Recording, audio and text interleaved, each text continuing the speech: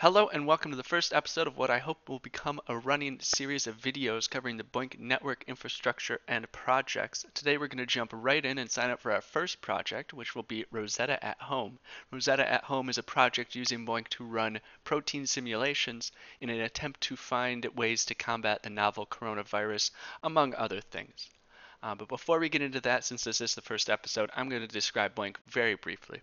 BOINC stands for the Berkeley Open Infrastructure for Network Computing. It was developed in 2002 out of Berkeley and the SETI at Home project. Many people might remember SETI at Home as that really cool looking distributed computing project with a screensaver that helped you look for aliens.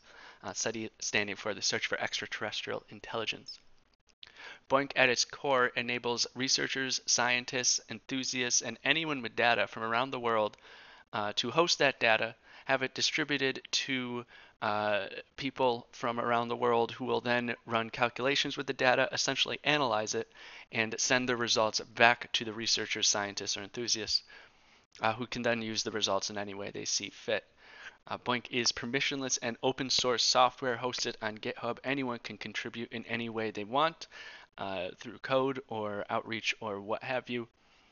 Uh, and I think that's about it. It hosts 30 some odd projects, which we'll go over really briefly here as we jump into it and I get this protein out of the way. This is what we're talking about today. By look at this, by the way, look at this protein do some work. Isn't that adorable? All right, so here's the GitHub for BOINC, GitHub slash BOINC, BOINC. Uh, feel free to jump in, uh, see some issues, and help out where you can.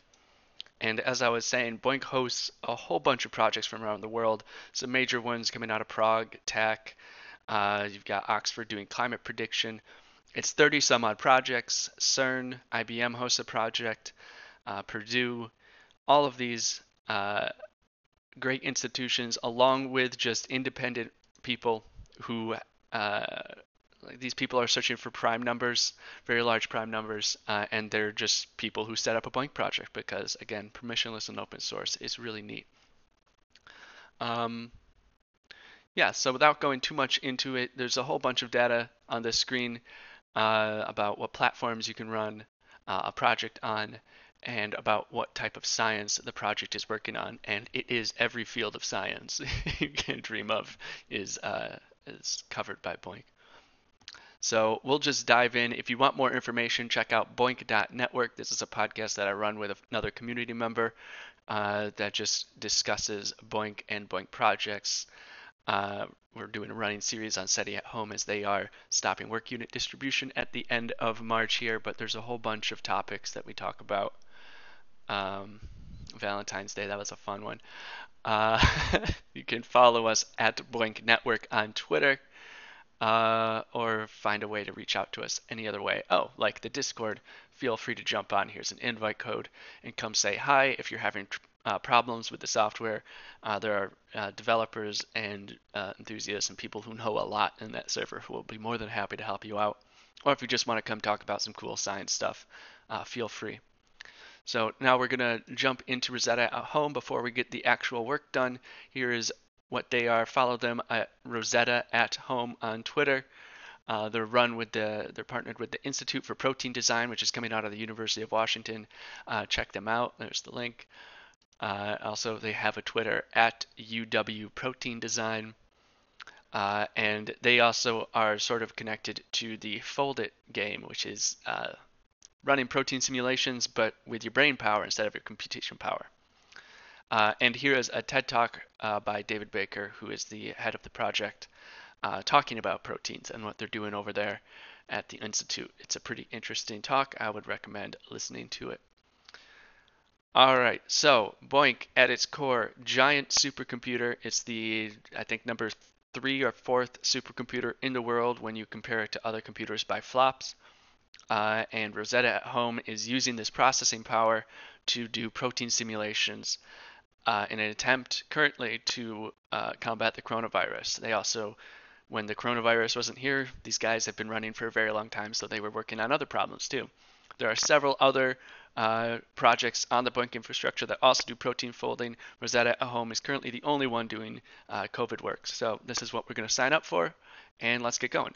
So the first thing you're going to do to sign up for a BOINC project is find the projects you want to sign up for, right? You go to this this website, boinc.berkeley.edu slash projects. Maybe you jump in the Discord, ask people what uh, what you should crunch, and you know, just find your way around, get to know the stuff, uh, and choose one. So we're choosing Rosetta at home.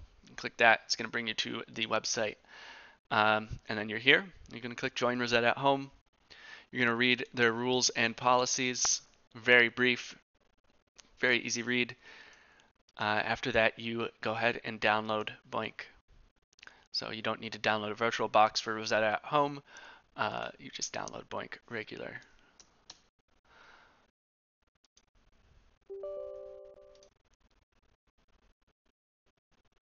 There we go.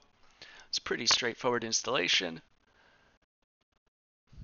I don't know why that popped up, but we keep going. uh, accept the terms. You probably want to read the terms first. Launch the BOINC Manager, and this is the BOINC Manager. You can use this to manage any BOINC project you sign up for because you can crunch multiple projects at the same time. There's a lot of settings you can tweak in the manager that will prioritize different projects when they have work over other projects.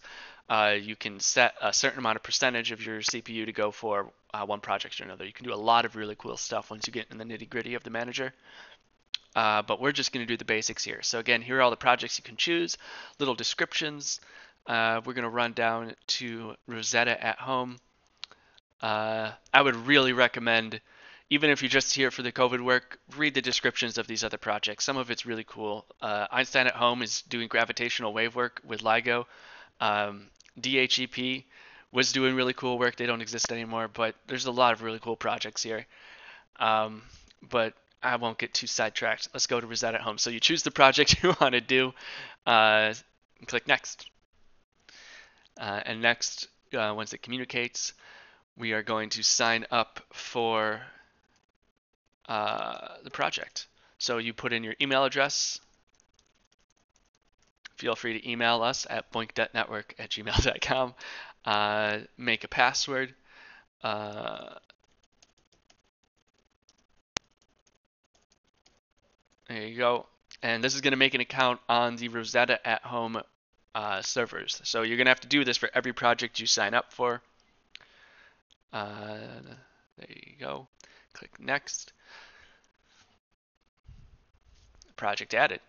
And that my friends. Oh, we're not there yet. All right, so you sign up for uh, the website. So we're going to be boinc.network for this one. Uh,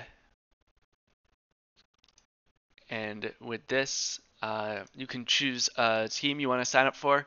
Here's the Reddit team, where a lot of people are coming from right now. So we'll go ahead and sign up uh, with them. So you just search for the team. This one is r slash COVID you can make teams with uh, your friends, with your schools, with your companies. There are national teams. Uh, there are teams all over the place. They run competitions with each other uh, and, just compete for scores. Because a big part of BOINC uh, is this thing called gamification that they've developed over the years, where you can earn credits, as they call them, earn points essentially for crunching, for um, doing computation work uh, and then you can compete with each other. It's really cool. And some interesting groups are starting to use those scores to do some even more interesting things that are well out of the scope of this video. So we're just going to join this team. Uh, there's the Reddit, so we know it's the right one. Um, if you want to know more about the gamification aspect, by the way, feel free to go to boinc.network and find that FAQ and gamification episode, episode four. This is also hosted on like Spotify and all the, the podcast platforms, by the way. So find that and we talk all about gamification, how cool it is, and how it's a we talk about it at a concept level and sort of how BOINC uses it. So there we go. We're all set up. You can change your computing preferences, your your preferences for this project. There's a lot of stuff we can tweak around, and we'll get into some of the that more nitty gritty stuff uh, in some future videos perhaps. But for now, here we go. We're set up. So let's load BOINC and see what's happening. All right. So we're connecting to the servers. Uh, we're downloading work units from the servers. Uh, Not sure why it's going slow right now. But if you go to the projects tab, you can see what projects you're working on. Uh, right now I'm sending all of my resources to Rosetta at home. Uh, well, this is unfortunate timing. I'm going to click update here, which pings the servers of the project to try and get uh, new work.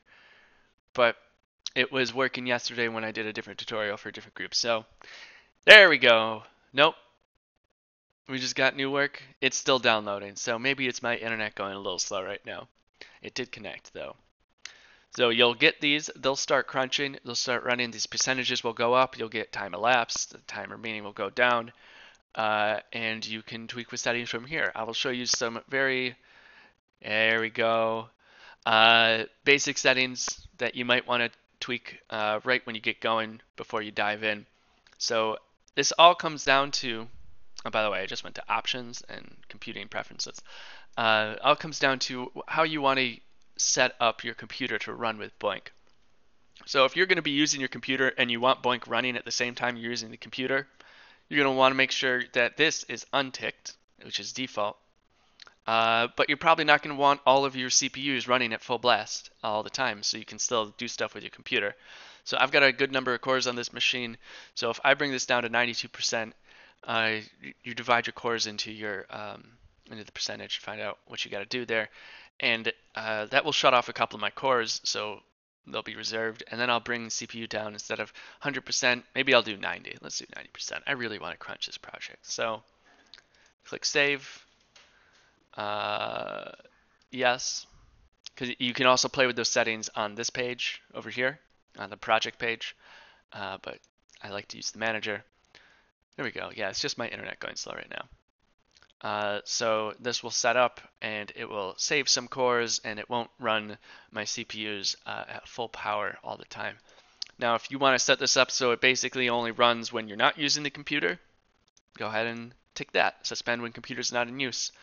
Uh, in use means the mouse or keyboard has given an input to the computer in the last three minutes. You can play with this.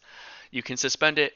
Say you want to be using your computer, but you're basically just browsing, so you don't need that much work or that much CPU. So play with this one. Get that to where you want it. These settings I would recommend leaving at default until you really get into it a little more.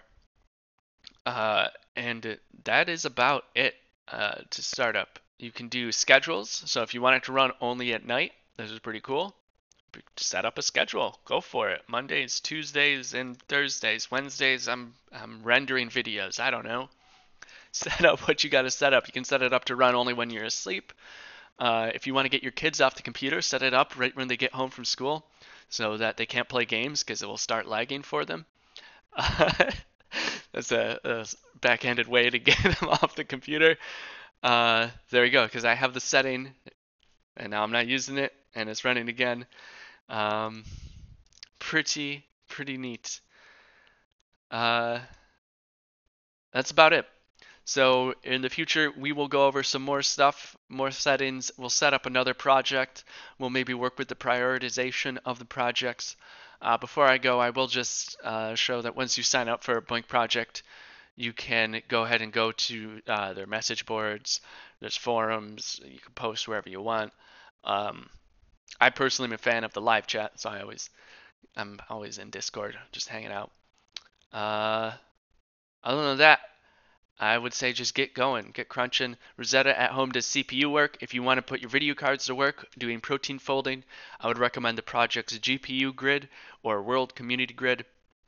Neither of them are working on uh, COVID work right now, but uh, World Community Grid uses your GPUs to do.